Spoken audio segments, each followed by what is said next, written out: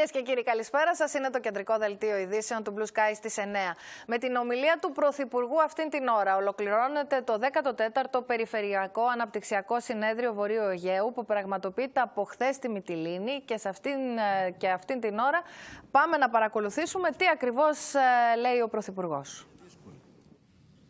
Και ειδικότερα εδώ. Και ειδικότερα στη Μόρια. Δεν μπορεί να είμαστε ούτε ευτυχείς ούτε χαρούμενοι για την κατάσταση που συμβαίνει εδώ. Θέλω να είμαι ευθύς εξ αρχής καθαρός απέναντί σας και απέναντι στον ελληνικό λαό και στο λεσβιακό λαό.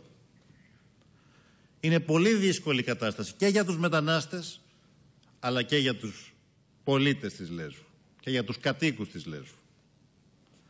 Θέλω όμως να σας καλέσω να θυμηθείτε, όχι πολύ παλιά, τι συνέβαινε τρία χρόνια πριν όταν είχαμε 4 και 5 χιλιάδες ροές την ημέρα και μονομερός οι βόρειοι γείτονές μας αποφάσισαν με την ανοχή των Ευρωπαίων εταίρων μας, δεν θέλω να κρύβω ή να μασάω τα λόγια μου, να κλείσουν τα σύνορα και να κινδυνεύει η χώρα να γίνει ένα μαύρο κουτί.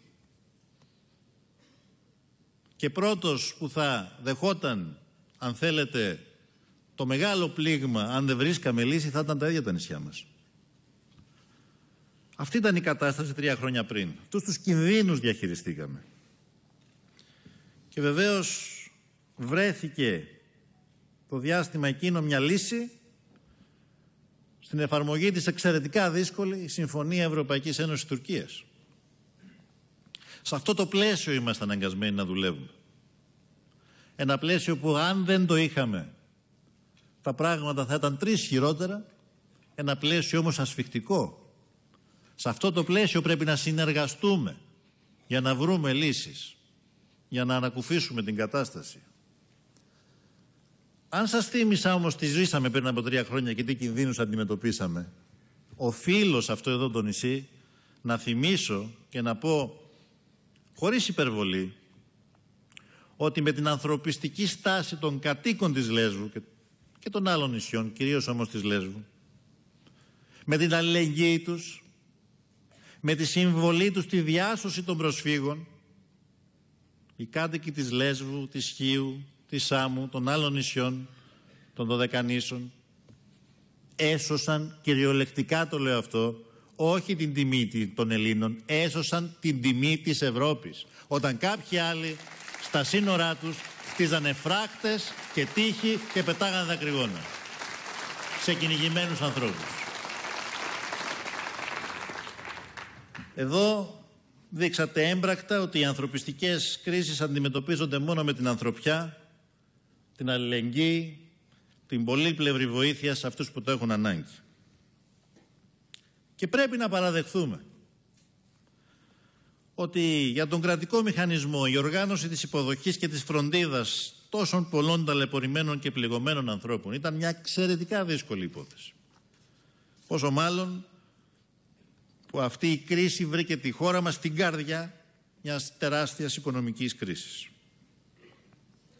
Και βεβαίως με πολλές χώρες, όπως είπα πιο πριν, της Ευρωπαϊκής Ένωσης να αρνούνται να αναλάβουν το μερίδιο που τους αναλογεί. Το μερίδιο της ευθύνης και της φιλοξενίας των προσφύγων. Στο πλαίσιο όλων αυτών των δυσκολιών αναγνωρίζουμε φυσικά ότι και λάθη έχουν γίνει και ελλείψεις υπάρχουν.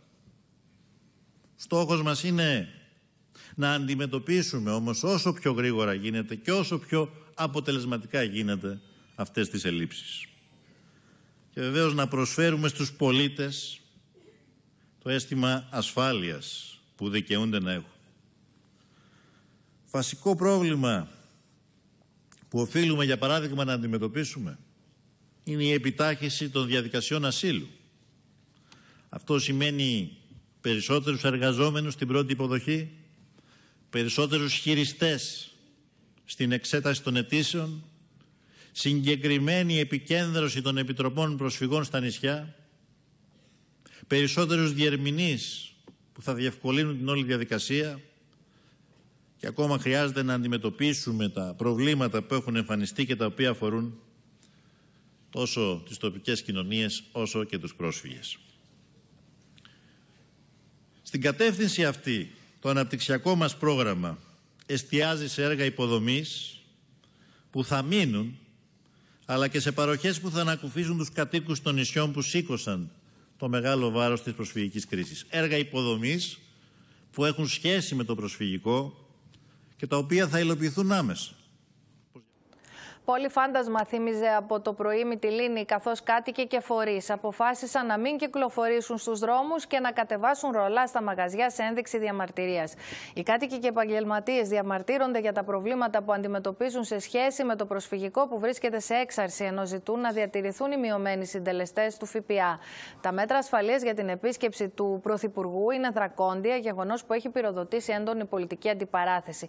Το πρωί ο, ο Αλέξης Τσίπρας επισκέφθηκε τη Λίμνο ενώ αυτήν την ώρα στη Μυτιλίνη, όπου βρίσκεται σε εξέλιξη και η ομιλία του, βρίσκεται σε εξέλιξη ταυτόχρονα και μεγάλη κινητοποίηση κατοίκων και επαγγελματιών που διαδηλώνουν μαζί με πολίτες από τη Σάμο και τη Χίο. Τη Λίμνο επισκέφθηκε ο Αλέξης Τσίπρας και ήταν η πρώτη στάση του Πρωθυπουργού στα νησιά του βορειοανατολικού Αιγαίου, που αυτή την εποχή αντιμετωπίζουν προβλήματα και προκλήσεις. Ξέχασε και το λουλουδάκι που ήθελε να φέρει. Είναι η νεότερη σα ε, θαυμάστρια, Ο Δήμαρχος δόρισε στον Πρωθυπουργό το έμβλημα του νησιού, καθώς και έναν αμφορέα από κοχύλια. Πρέπει να κοσμεί κάποιο χώρο στο Μαξίμα, δεν έχει το ε, Αυτό είναι φυσικά για το. Και θα είναι για πάντα εκεί. Επόμενος σταθμός του Πρωθυπουργού η Μυτιλίνη για το 14ο Αναπτυξιακό Συνέδριο, που όμως θύμιζε από το πρωί έρημη πόλη. Επιχειρήσεις και καταστήματα κατέβασαν ρολά σε ένδειξη διαμαρτυρίας, ενώ στην πρωτοβουλία αυτή συμμετείχαν ακόμα και οι μεγάλες εμπορικές αλυσίδες. Κάτοικοι και φορείς της Λέσβου ζητούν την άμεση αποσυμφόρηση του νησιού από τον μεγάλο αριθμό προσφύγων και μεταναστών, αλλά και τη διατήρηση των μειωμένων συντελεστών ΦΠΑ. Να υψώσουμε τη φωνή μας και να μας ακούσει επιτέλους η κυβέρνηση. Θέλουμε την άμεση παραμονή μας στους μειωμένους συντελεστές ΦΠΑ, την άμεση και μόνιμη αποσυμφόρηση του νησιού από τον υπερβάλλοντα αριθμό μεταναστών και προσφύγων και τόσα άλλα προβλήματα όπως είναι η επικείμενη αύξηση των αντικειμενικών αξιών και ένα σωρό άλλα θέματα τα οποία ε, ταλανίζουν και απασχολούν αυτή τη στιγμή την τοπική κοινωνία. Θεωρούμε ότι είναι ταφόπλακα για τα εμπορικά μαγαζιά αυτό το πράγμα. Ε, δεν έχει λυθεί κάποια από τα προηγούμενα προβλήματα και αιτήματά μας που είχαμε. Ολόκληρη περιοχή θύμιζε φρούριο από τα δρακόντια μέτρα ασφαλείας, γεγονός που προκάλεσε αντιπαράθεση ανάμεσα στην κυβέρνηση και την αντιπολίτευση. Υπάρχει μια κόπωση στο νησί βεβαίως. Ε, και, και υπάρχουν και ζητήματα όμως τα οποία δημιουργήθηκαν αντανακλαστικά, ας το πούμε, Όπως; τα οποία είναι το, το κινήματα των ακροδεξιών τα οποία είδαμε στην περιοχή να δρουν. Ο κύκλος των αποκαλούμενων αναπτυξιακών συνεδρίων για τη δίθεν παραγωγική ανασυγκρότηση της χώρας κλείνει όπως ακριβώς του άξιζε. Ο κύριος Τσίπρας, στο ταξίδι του στη Λέσβο και συγκεκριμένα στη Μυτιλίνη, θα συνοδεύεται από 17 δημιουργίες ΜΑΤ που θα τον προστατεύσουν από τον ενθουσιασμό των κατοίκων για τα επιτεύγματά τους στην ανάπτυξη και στο προσφυγικό. Βλέπω τώρα την επίσκεψη του Πρωθυπουργού στη Μυτιλίνη. Ναι. Ε, αναρωτιέμαι θα περάσει έξω από το κόκκινο χαλί, θα δει έξω από τις φιέστε, θα δει τα πραγματικά προβλήματα. Δεν νομίζω ότι είναι εύκολο με τόσο αστυνομικό κλειό γύρω του. Για φιέστα πρόκληση έκανε λόγω το κίνημα αλλαγής στον κλειό των ΜΑΤ, αναφορικά με την επίσκεψη του Πρωθυπουργού στη Λέσβο και την παρουσία του στο 14ο Περιφερειακό Συνέδριο. Ο κύριος Τσίπρας για κάθε ώρα διαπραγμάτευσης παίρνει και μια δημιουργία μαζί του. Τα νησιά μας έχουν μια ιδιαιτερότητα. Έτσι. Αλλά υπάρχουν πάρα πολλές περιοχές στην Ελλάδα που έχουν ιδιαιτερότητες. Τα γρεβενά στα οποία βρίσκομαι και ζω έχουν 8 μήνες χειμώνα. Όχι, εγώ θεωρώ ότι δεν πρέπει να παραμείνει. Άρα πρέπει να ξετύλετε. Καλά. Βεβαίως. Προσέξτε τι κάνει. Φέρνει κοινωνικό ανταγωνισμό μεταξύ των, των περιοχών της Ελλάδος και λέει εκεί είναι έτσι, άρα κάντε το έτσι. Αυτός είναι ο ΣΥΡΙΖΑ. Μάλιστα. Αυτός είναι ο ΣΥΡΙΖΑ και επιβεβαιώνεται γιατί καταργήθηκε το ΦΠΑ. Α καταλάβει ότι ήλθε η ώρα να παρατηθεί. Μέσα στο Περιφερειακό Συνέδριο για την Παραγωγική Ανασυγκρότηση, οι κορυφαίοι υπουργοί αναφέρθηκαν στο θέμα του προσφυγικού, που λόγω της έξαρσης που παρουσιάζει τις τελευταίες ημέρες έχει δημιουργήσει προβλήματα στην εύρυθμη λειτουργία του νησιού και στη ζωή των κατοίκων που χαρακτηρίζουν τραγική την κατάσταση που επικρατεί. Η Μυτιλίνη, λοιπόν, η Λέσβος, είναι ένα από τα μετρημένα νησιά του Βορείου Αιγαίου που πραγματικά κουβαλάει αυτό το σταυρό. Κατανοούμε τα προβλήματα που υφίσταται το νησί και τουλάχιστον όλοι ομολογούν ότι εξαντλούμε κάθε δυνατότητα προκειμένου να περιορίσουμε τις επιπτώσεις πάνω στο νησί και πάνω στην κοινωνία. Στάση των ε, κατοίκων των νησιών μας, με κάποιες εξαιρέσεις βεβαίως, ε, έχει κάνει την Ελλάδα να είναι παράδειγμα. Γνωρίζουμε και αναγνωρίζουμε τις δυσκολίες και εργαζόμαστε καθημερινά ώστε να ξεπεραστούν. Είναι πολύ σημαντικό να έχουμε διαρκή συνεργασία για να μπορούμε να αξιοποιούμε τις νέες ευκαιρίες για να αντιμετωπίζουμε με επιτυχία τις προκλήσεις και τις δυσκολίες που προκύπτουν όπως πράξαμε τα τρία τελευταία χρόνια μέσα σε ένα ευρύτερο περιβάλλον πολιτικών διαπραγματεύσεων, γεωπολιτικών εξελίξεων και φυσικά τα προβλήματα που δημιούργησε η προσφυγική κρίση. Οι επιχειρηματίες, οι κάτοικοι και οι φορείς του νησιού ζητούν την άμεση λήψη μέτρων από την κυβέρνηση για να μην πληγεί η τουριστική σεζόν που μόλις έχει αρχίσει. Σε εξέλιξη λοιπόν κυρίες και κύριοι η ομιλία του Πρωθυπουργού. Ε, εάν χρειαστεί θα επιστρέψουμε για να παρακολουθήσουμε ένα ακόμη απόσπασμα. Καλωσορίζω αυτή την ώρα στο στούντιο του Blue Sky τον Κώστα Πουλακίδα και τον Γιώργο Ευγενίδη. Να σχολιάσουμε την επικαιρότητα της ημέρας. Ε, εκτεταμένες διαδηλώσεις, μεγάλες διαδηλώσεις αυτή την ώρα στην περιοχή όπου μιλάει ο Πρωθυπουργός, αλλά θα έχει ενδιαφέρον, να, έχει ενδιαφέρον να δούμε Κώστα τι μηνύματα αποκωδικοποιούμε από την ομιλία του σήμερα. Νομίζω ότι. Μιας και δεν έχουμε τη δυνατότητα αυτή την ώρα ε, να παρακολουθήσουμε σε απευθείας μετάδοση ολόκληρο το, Νομίζω το λόγο. Γνωρίζει ότι μιλάει σε, μια, σε ένα νησί το οποίο είναι φορτωμένο. Mm -hmm. Φορτωμένο και κυρίω από δύο προβλήματα. Το ένα είναι η, η παρόξυνση του μεταναστευτικού προσφυγικού και το δεύτερο, και η, η, κακή μέχρι τώρα, η μέτρια μάλλον μέχρι τώρα διαχείρισή του. Και το δεύτερο είναι η ανησυχία για την πορεία της οικονομίας, λόγω της, της τοπικής μάλλον οικονομίας, λόγω της αύξησης του, του ΦΠΑ. Ε, σε αυτά τα δύο επικεντρώνονται. Τον ακούσαμε, τον ακούσαμε και νωρίτερα που μίλαγε για την ιστορία, για, για τη Μόρια και το, τι, και το τι μπορεί να γίνει. Ε, ε, εκεί θα είναι εστιασμένο και επίσης θα δώσει έμφαση και στις δυνατότητες τουριστικής ανάπτυξης του, του Βορείου Αιγαίου, στο οποίο, το οποίο σε σχέση με το Νότιο και με το Κεντρικό Αιγαίο, όπου στο Κεντρικό Αιγαίο θα γίνει και το επόμενο Περιφερειακό Συνέδριο, υστερεί στο κομμάτι του τουρισμού. Τώρα, ε, εύλογα προκύπτει το ερώτημα. στα προβλήματα είναι πάντα. Με, με το έσχος της Μόριας μπορεί να αναπτυχθεί τουριστικά. Και όσο θα διαρκεί αυτή η κρίση των μεταναστευτικών ροών, ή μάλλον όχι να είχε αναπτυχθεί το νησί, απλώς τώρα υστερεί μετά τη, την έξαρση του φαινομένου. Νομίζω... Η Μόρια όμως είναι μια πληγή αυτή η, την η ώρα για το νησί. Η Μόρια δεν είναι μέσα στην πόλη της Μυτιλίνης. Δεν έχει σημασία, είναι για το νησί. Είναι Όταν ένα, έχουν, ε, έχουν κινητοποιηθεί οι διεθνείς οργανώσεις, υπάρχουν διαμαρτυρίες, υπάρχουν κακές εικόνες, υπάρχουν προβλήματα εκεί. Δεν να, έχει αλλάξει. Να, να κάνω λοιπόν δύο επισημάνσεις με τη Μόρια στην κατάσταση που ήταν, αυτή, στη σημερινή κατάσταση, και πέρσι είχε αύξηση του τουρισμού και πρόπερσι είχε πάλι αύξηση του τουρισμού σε σχέση με το 2015. Επομένως, δεν, δεν επηρεάζει η Μόρια τον τουρισμό. Εκείνο, ίσα ίσα που υπό μία ανάγνωση ε, φέρνει χρήματα γιατί, υπάρχουν, γιατί υπάρχει η ανάγκη να σητιστούν ε, οι άνθρωποι, 8.000 άνθρωποι είναι αυτή τη στιγμή εκεί, 9.000 σχεδόν, ε, και υπάρχει ανάγκη και κάποιοι άνθρωποι, και αυτοί οι οποίοι είναι από τις μη κυβερνητικές οργανώσεις, να διαμείνουν στο νησί, οπότε και, και ξενοδοχεία. Τώρα είναι τρελοί οι άνθρωποι, δηλαδή, εκεί που διαμαρτύρονται. Δημιουργεί, όχι, όχι. όχι. Ωστόσο, δημιουργούνται κοινωνικά προβλήματα. Γιατί είναι, μια, γιατί είναι ένα ε, κάμπ το οποίο είναι φορτωμένο, έχει περισσότερο κόσμο από όσο θα έπρεπε να έχει Δυστυχώς δεν μπορεί να μετακινηθεί ευθέως γρήγορα ο κόσμος προς το εσωτερικό της Ελλάδας, διότι έτσι θα χαθεί η δυνατότητα να, πάει, να, να επιστραφεί στην Τουρκία. Η διαδικασία που όμως πρέπει να, να πούμε και αυτή δεν έχει ακολουθηθεί. Δηλαδή ναι, και αυτή δεν, δεν, δεν, τηρείται, δεν, έχει... δεν τηρείται. Υπάρχει έτσι, καθυστέρηση μεγάλη. Στην πραγματικότητα, ο μόνος τρόπος θα ήταν να γίνει ακόμα ένα κάμπ. Επειδή δεν υπάρχει όμως από κανέναν αυτή η διάθεση, είναι προφανές ότι η αποφόρτιση του, του, της Μόρια γίνεται όπως και στο παρελθόν έγινε σιγά σιγά. Κάποια στιγμή φύγανε 500 άτομα μέσα από τη Μόρια, δεν το πήρε χαμπάρι κανένας. Στο εσωτερικό της χώρας μπήκαν. Σε, σε άλλους χώρους. Αυτό που καταγράφω εγώ και μου κάνει εντύπωση είναι ότι το τελευταίο διάστημα, ενώ το είχαμε ξεχάσει για αρκετό καιρό το ζήτημα αυτό, ε, οι αντιδράσεις των κατοίκων, η προσπάθειά τους να εστιάσει η πολιτεία την προσοχή της στα προβλήματά τους, οι αντιδράσεις, οι διαμαρτυρίες κλπ. είναι ολοένα και εντυνόμενες. Αυτό πώς μπορεί να το χειριστεί η κυβέρνηση δεδομένου ότι έχει υπογράψει; Και την αύξηση του ΦΠΑ και όλα αυτά τα μέτρα που έρχονται από την τελευταία συμφωνία, τα οποία επιβαρύνουν τους ήδη επιβαρημένους κατοίκους και δεν αρκεί το ότι, ξέρεις, αυξάνε το τζίρος γιατί αυτοί κάπου ξοδεύουν κάτι κάνουν, πεθαίνουν, ε, έχουν προβλήματα. Η, η αλήθεια είναι πως η κοινωνική ζωή ε, στις τοπικές κοινωνίες έχει, έχει επιβαρυνθεί.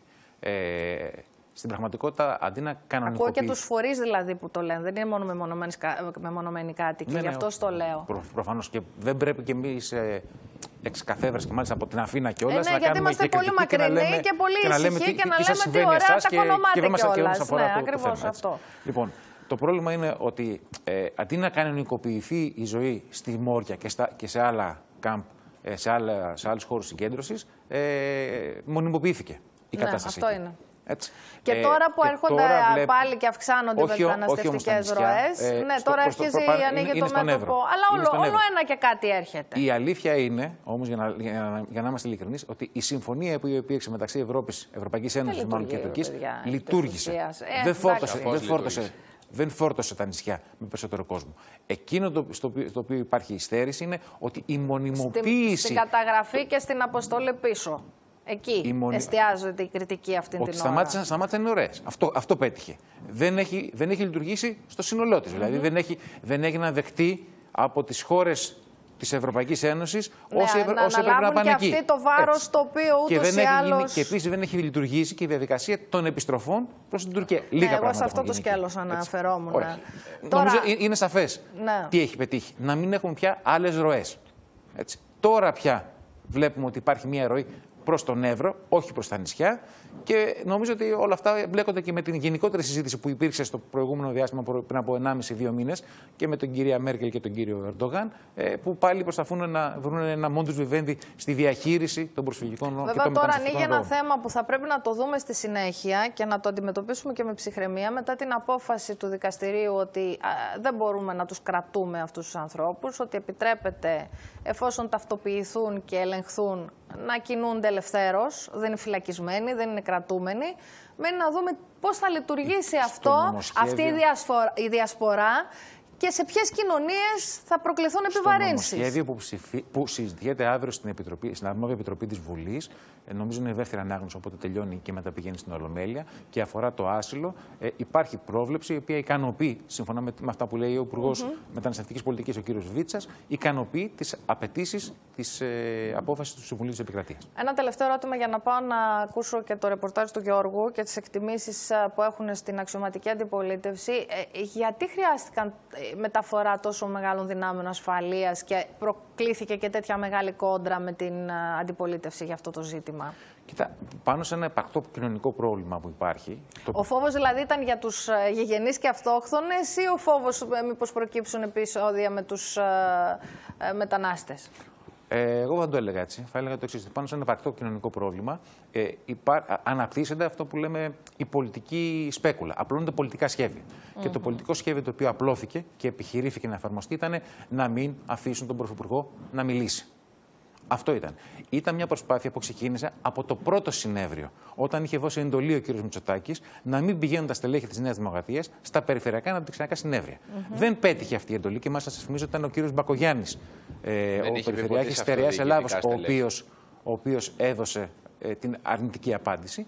Δεν πέτυχε αυτή η εντολή και αυτό και είδαμε σε όλα τα 13 μέχρι τώρα συνέδρια να πηγαίνουν. Και τώρα ήταν και η κυρία Καλογύρου που ήταν και προ... περιφερειάρχης και πρώην βουλευτής της Νέας Δημοκρατίας, εκεί ήταν και αυτή. Εκείνο το οποίο όμως ήταν ο στόχος εν προκειμένου ήταν να μην πάνε, να μην, να μην μπορέσει να μιλήσει.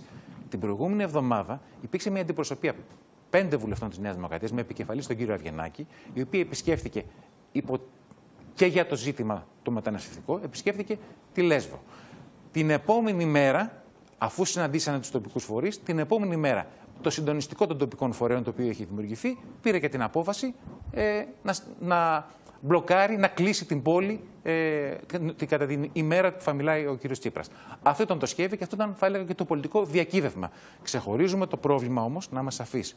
Άλλο πράγμα το πρόβλημα και άλλο οι πολιτικοί σχεδιασμοί που ανεπτύσσονται πάνω στο πρόβλημα. Ε, Πάντως, κοίταξε, ε, στην πολιτική αντιπαράθεση κυβέρνησης αντιπολίτευσης το βρίσκω πιο συμβατή μεθοδοδευσία από τα παπούτσια που πέταγαν οι Σιριζέοι ως αντιπολίτευση στην κυβέρνηση το προηγούμενο διάστημα.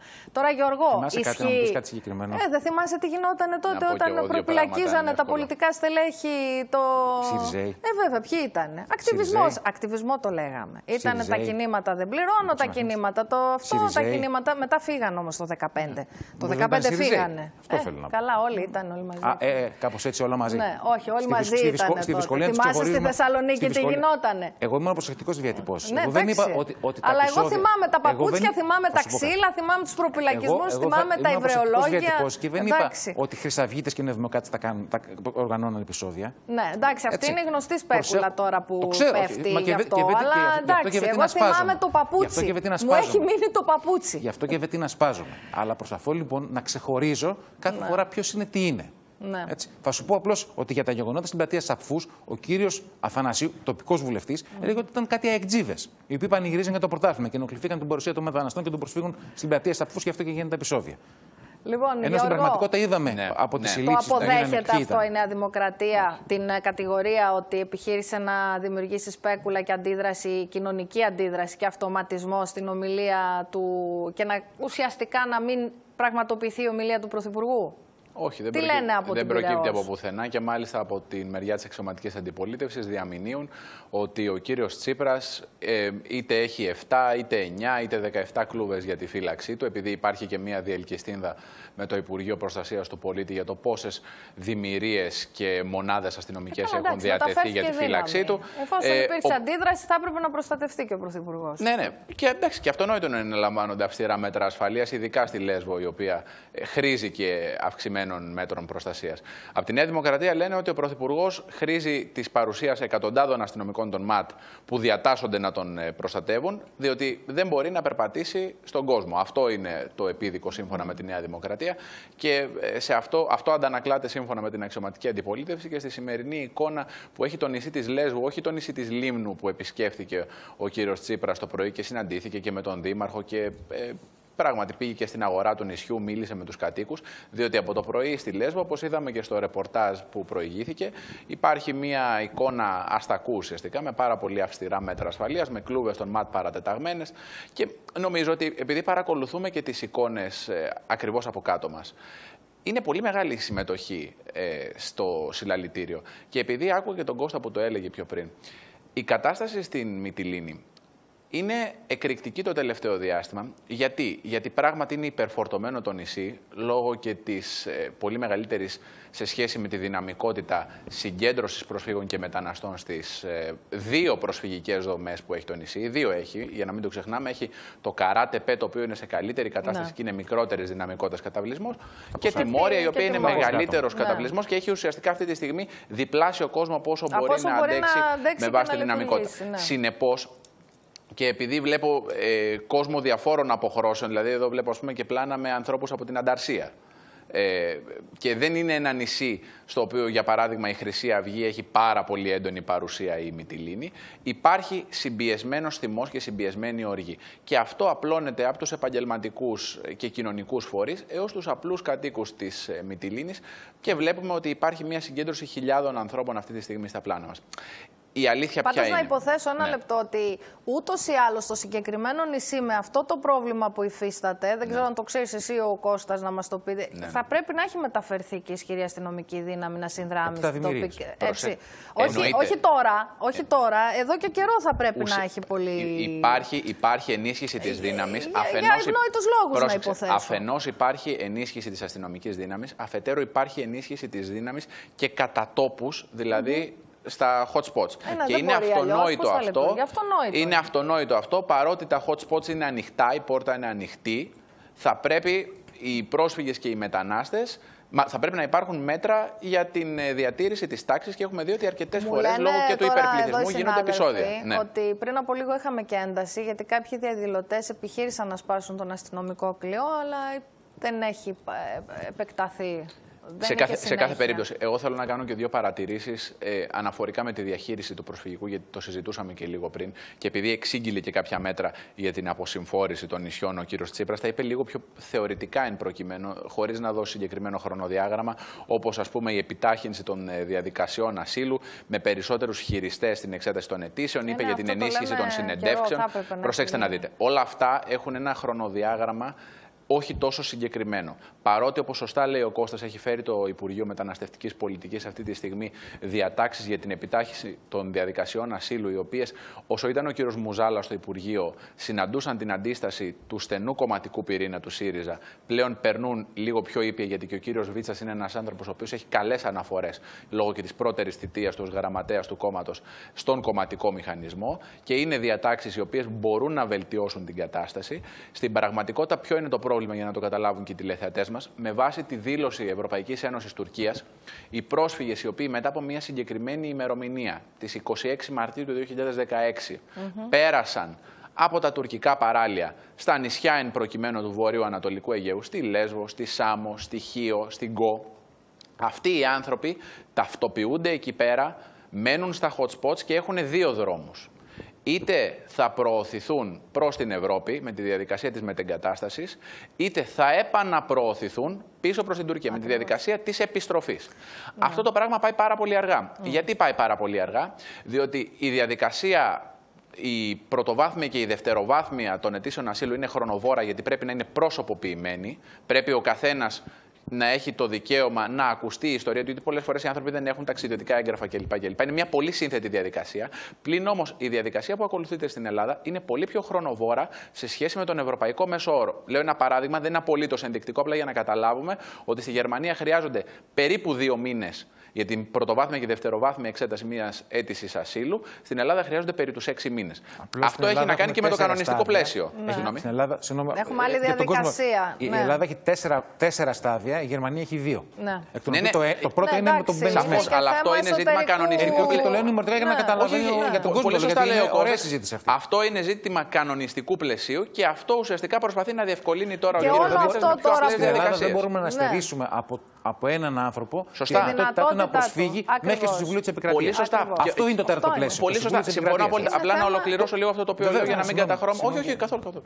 Κουβέντα κάνουμε. Απλά για να μην καταχρώμε και το χρόνο της Λίνας. Τι πρέπει να γίνει εδώ πέρα; Πρέπει να επιταχυνθούν αυτές οι διαδικασίες έτσι ώστε ακόμα και με την προβληματική διαδικασία της μετεγκατάστασης, που κάποιες χώρες όπως η Πολωνία και η Τσεχία δεν παίρνουν κόσμο, να φύγει κόσμος από τα νησιά. Γιατί, και μια τελευταία, αυτή είναι η τελευταία παρατήρηση. Γιατί δεν πρέπει να πηγαίνει κόσμος από τα νησιά στην ενδοχώρα; Διότι αυτό θα λειτουργήσει ως pull factor. Θα είναι στοιχείο που θα φέρνει κόσμο από την Τουρκία στα νησιά. Γιατί αν Είναι βλέπουν ότι μπορούν να μείνουν. για να μας καταλάβει ο κόσμος, αν βλέπουν έτσι. ότι μπορούν να μείνουν στην ελληνική ενδοχώρα, αυτό θα είναι προβληματικό για τη διαχείριση εδώ πέρα. Υπάρχει και, ένα άλλο πρόβλημα, ναι. ότι, ότι κάνοντας την, την πρώτη αίτηση, δεν πρέπει να πάρουν, να φύγουν από τα νησιά. Σωστά. Γιατί ναι. μετά χάνονται. Παραμένουν εκεί. Παραμένουν εκεί Πρέπει μέχρι να, να τελεσυνικήσουν οι περιπτώσεις. Και έτσι φορτώνονται αναγκαστικά. Τα, τα, τα, νησιά, τα ακριτικά φορτώνονται μεγαλύτερες ευθύνες από αυτές που θα έπρεπε να είχαν. Γι' αυτό δημιουργούνται και οι πιέσεις στην κοινωνία, στην τοπική. Λοιπόν, έτσι. πάμε να δούμε τι γίνεται και στο άλλο μέτωπο. Ενώπιον του εισαγγελέα και εν συνεχεία στο αυτόφορο παρουσιάστηκε σήμερα ο Τούρκος υπάλληλος του Δήμου Αδριανούπολης που καταδικάστηκε σε φυλάκιση 5 μηνών με τριετή αναστολή και χρηματική ποινή 1.500 ευρώ για παράνομη είσοδο με το εσκαπτικό του με συγχωρείτε, μηχάνημα στις Καστανιές Εύρου. Πηγές της κυβέρνησης, με αφορμή τα σενάρια τουρκικών μέσων ενημέρωσης που συσχέτιζαν την υπόθεσή του με τους δύο Έλληνες στρατιωτικούς, ξεκαθάριζαν εξ αρχής ότι η ελληνική κυβέρνηση δεν μπαίνει σε λογική καθέρωθεν εκβιασμών και συμψηφισμών. Ο ίδιος στην απολογία του υποστήριξε ότι εκτελούσε χωματουργικές εργασίες και χωρίς να το καταλάβει πέρασε στην Ελλάδα. Τώρα αναμένει την απέλασή του μέσα στα επόμενα 24 ώρα, ενώ ο τουρκικός τύπος υποδέχτηκε με έκπληξη και ηρωνικά σχόλια την είδηση. Τις προκλητικές ενέργειες της Τουρκίας καταδίκασε από τη Λίμνο ο Αλέξης Τσίπρας.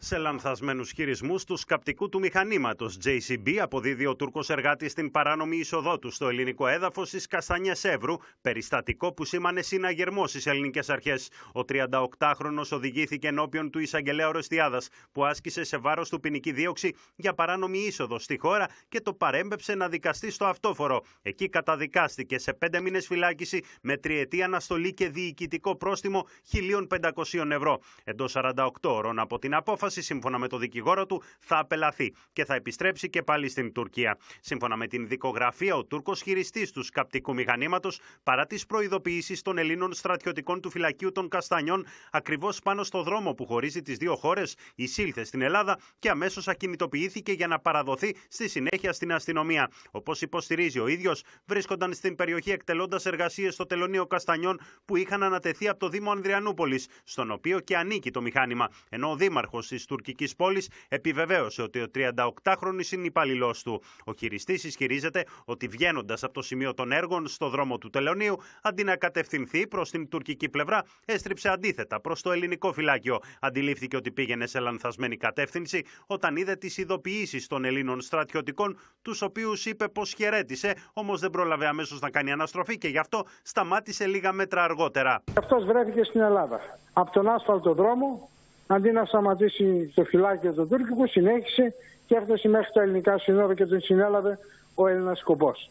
Το κατά λάθος, εντάξει, αυτό λέει ο ίδιος ότι είναι κατά λάθος. Τώρα, πόσο λάθος μπορείς να κάνεις στο δρόμο που συνδέει τις δύο χώρες και δεν είδες τα σήματα, τις σημαίες και τις πινακίδες που γράφουν Ελλάδα ή Τουρκία, άλλο θέμα αυτό. Μετά από τη σύλληψή του, έμεινε αργά το βράδυ στο αστυνομικό τμήμα του συνοριακού σταθμού των Καστανιών και στη συνέχεια οδηγήθηκε στο τμήμα Ορεστιάδας, όπου κρατήθηκε τη νύχτα μέχρι να οδηγηθεί στα δικαστήρια της πόλης. Το επεισόδιο προκάλεσε μεγάλη κινητοποίηση στις ελληνικές αρχές, καθώς έγινε λίγα μέτρα μακριά από το σημείο όπου συνελήφθησαν οι δύο Έλληνες στρατιωτικοί, που ακόμη κρατούνται στις φυλακές της Ανδριανούπολης. Γρήγορα όμως έγινε αντιληπτό πως ήταν ένα ίσονο σημασίας μεθοριακό περιστατικό. Η ελληνική κυβέρνηση δεν μπαίνει σε λογική εκατέρωθεν εκβιασμών και συμψηφισμών, ανέφεραν κυβερνητικές πηγές. Θα ακολουθηθεί κατά γράμμα ο ελληνικός νόμος με προσήλωση στις δικαιοπρακτικές αρχές. Η όσο το δυνατόν γρηγορότερη επιστροφή του Τούρκου πολίτη βάσει των προβλεπόμενων από την ελληνική νομοθεσία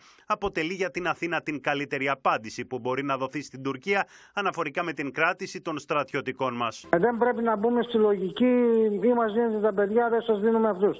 Γιατί αυτό το πράγμα θα γίνεται μετά αλυσιδωτά. Μόλις θα περνάει κάποιος δικός μας, το συλλαμβάνουν. Μόλις θα περνάει κάποιος δικός του, θα το συλλαμβάνουμε. Δεν γίνεται αυτή η δουλειά. Και όταν έχουμε κράτος δικαίου, δεν πρέπει να μπούμε στη λογική που είναι αυτή. Για το θέμα, ο Πανός Καμένος βρέθηκε στο Μέγαρο Μαξίμου και ενημέρωσε τον Αλέξη Τσίπρα, ενώ η είδηση κυριάρχησε στα τουρκικά μέσα ενημέρωσης με ηρωνίες και επιθετική διάθεση. Και εκφράζουν την έκπληξή τους, μάλιστα, που συνελήφθη ενώ πέρασε κατά λάθος στα σύνορα, κάτι που δεν έκαναν, βέβαια, στην περίπτωση των δύο Ελλήνων στρατιωτικών. Η Σαμπάχ γράφει ότι συνελήφθη από Έλληνες στρατιώτες στην ουδέτερη ζώνη που χωρίζει τις δύο χώρες, επειδή πέρασε κατά λάθος στην ελληνική πλευρά, ενώ χειριζόταν έναν εξκαφέα. Έλληνες στρατιώτες συνέλαβαν τουρκοχειριστή εξκαφέα, γράφει η Σοκτσού. Η Μιλιέτ μεταδίδει ότι ο χειριστής ήθελε να επιστρέψει από την νεκρή ζώνη, ενώ έκανε εργασίες για τοποθέτηση γραμμής υδροδότησης στο μεθοριακό πέρασμα Παζάρκιουλε και συνελήφθη από Έλληνες στρατιώτες. Στο ίδιο μήκος κύματος και η Χουριέτ με τον ηρωνικό τίτλο Εξκαφέας πέρασε κατά λάθος στα σύνορα,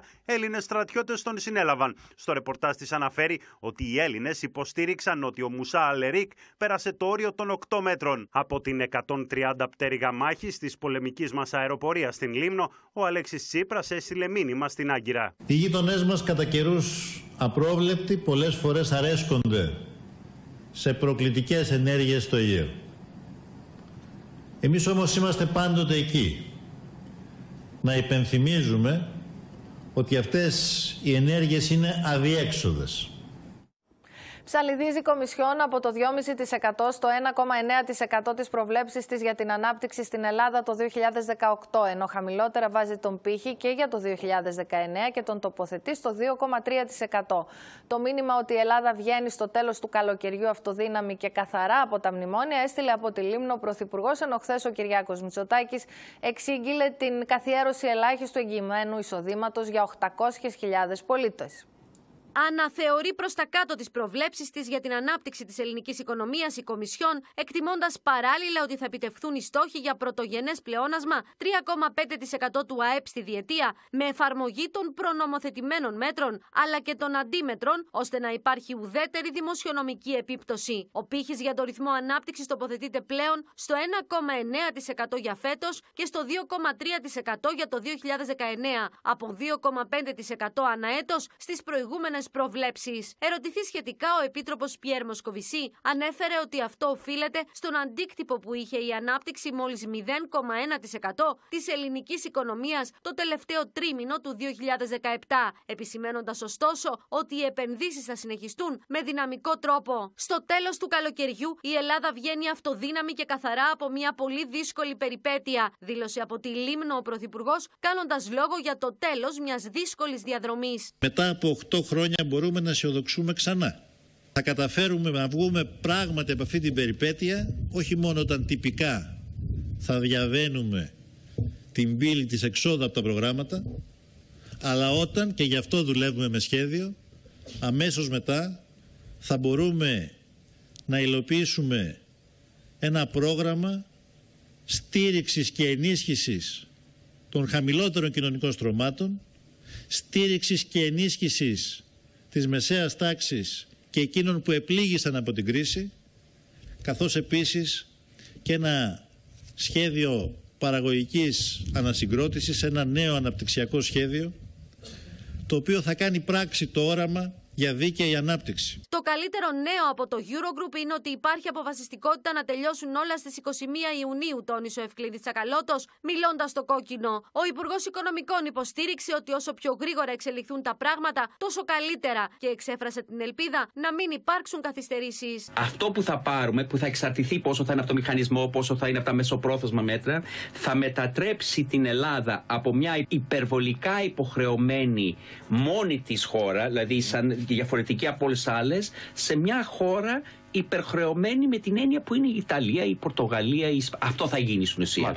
Αν δηλαδή η Νέα Δημοκρατία μας πει ότι δεν λύνεται το πρόβλημα το χρέος, έχει κάποιο δίκιο. Ένας μετά τον άλλο, οι διεθνείς οργανισμοί ψαλιδίζουν τον εκτιμόμενο ρυθμό ανάπτυξης της ελληνικής οικονομίας. Τόνισαν σε κοινή τους δήλωση η τομεάρχης οικονομίας και ανάπτυξης της Νέας Δημοκρατίας Δώρα Μπακογιάννη και ο τομεάρχης οικονομικών Χρήστος Ταϊκούρα, σχολιάζοντας τις προβλέψεις της Κομισιόν και σημείωσαν ότι η κυβέρνηση έχει καταδικάσει τη χώρα σε αναπτυξιακή υστέρηση. Ο Κυριάκος Μητσοτάκης ξεδίπλωσε το σχέδιό του για την αντιμετώπιση της φτώχειας και του κοινωνικού αποκλεισμού και δεσμεύτηκε για ελάχιστο εγγυημένο εισόδημα σε 800.000 δικαιούχους, αλλά και για την αύξηση του αφορολόγητου για κάθε παιδί. Το ελάχιστο εγγυημένο εισόδημα θα καθιερωθεί από την κυβέρνηση της Νέας Δημοκρατίας για 800.000 συμπολίτες μας. Με ετήσια δαπάνη ένα δις αντί των 760 εκατομμυρίων σήμερα. Επαναλαμβάνω. Για μαύρη προπαγάνδα του ΣΥΡΙΖΑ ότι θα απολύσει δημοσίου υπαλλήλους αν η Νέα Δημοκρατία έρθει στην εξουσία, έκανε λόγο, μίλησε πριν από λίγο ο Κυριάκος Μητσοτάκης. Ο αρχηγός της αξιωματικής αντιπολίτευσης δήλωσε ότι δεν θα επιτρέψει στην κυβέρνηση να πάρει τα κλειδιά του κράτους στην Κουμουνδούρου και επανέλαβε ότι δεν θα απολυθούν δημόσιοι υπάλληλοι και ότι θα πρέπει να νιώθουν ασφαλείς. Αύριο ο κ. Μητσοτάκης θα βρίσκεται στη Θεσσαλονίκη για διήμερη περιοδία. Σε μια μαύρη προπαγάνδα του ΣΥΡΙΖΑ η οποία θέλει να περιορίσει το δικό μας σχέδιο για τη διοικητική μεταρρύθμιση στο ότι δήθεν θα απολύσουμε δημόσιους υπαλλήλους. Δεν θα γίνει καμία απολύση δημόσιους υπαλλήλους. Το λέω για άλλη μια φορά ρητά και κατηγορηματικά. Εμείς λοιπόν τους λέμε ξεκάθαρα ότι όταν με το καλό έρθουμε στα πράγματα με τη δύναμη του ελληνικού λαού δεν θα τους επιτρέψουμε να πάρουν τα κλειδιά του κράτους στην Κουμουνδούρου. Λοιπόν, τώρα Κώστα, ε, διάβαζα τις αντιδράσεις για αυτή την ε, ιστορία με τις προβλέψεις για την ανάπτυξη και έχει μια λογικοφανή εξήγηση ακόμα και για τους αδαείς περί τα οικονομικά, το γιατί δεν επιβεβαιώθηκε η πρόβλεψη εξαιτίας ε, τουλάχιστον στο σκέλος εκείνο της χαμηλής αγοραστικής δυνατότητας που έχουν ε, στο τρίτο, εξα... τρίτο τρίμηνο, νομίζω, ή τέταρτο τρίμηνο, τέταρτο τρίμηνο οι, οι πολίτες. Ναι. Αλλά αυτό που μου, αν θες, που, που προξενεί τη διάθεση να συζητήσω σήμερα είναι οι τοποθετήσεις του κυρίου Τσακαλώτου, ο οποίος ε, ουσιαστικά περιγράφει ένα όχι τόσο καθαρό αφήγημα εξόδου και μια όχι τόσο αισιόδοξη προοπτική στο να μην ε, τελικά εφαρμοστούν οι περικοπές των συντάξεων και η μείωση του αφορολογήτου στο επόμενο διάστημα έτσι όπως προβλέπεται από τις μνημονιακές μας υποχρεώσεις. Ε, στην πραγματικότητα λέει ότι αυτό το ζήτημα θα το συζητήσουμε μετά τον Αύγουστο. Να τα πάρουμε από τα πράγματα από την ναι. αρχή όμως πολύ σύντομα. Ε, τα έβαλα όλα για να ναι, ναι, ναι μπορέσουμε ναι, να. Πολύ σύντομα. Τι έχουμε στην πραγματικότητα. Έχουμε τη σύγκληση της Κομισιόν της Ευρωπαϊκής Επιτροπής mm -hmm. με, των προβλέψεων μάλλον της Κομισιόν με τις προβλέψεις του ΔΝΤ. Πριν από ένα μήνα, τον Απρίλιο, το ΔΝΤ έκανε, έκανε το δικό του βήμα, μεγάλο βήμα για να λέμε και την αλήθεια, σύγκλησης με τα νούμερα, με τις εκτιμήσεις που έκανε η Κομισιόν. Και η Κομισιόν σήμερα έκανε και το δικό της μικρότερο βήμα.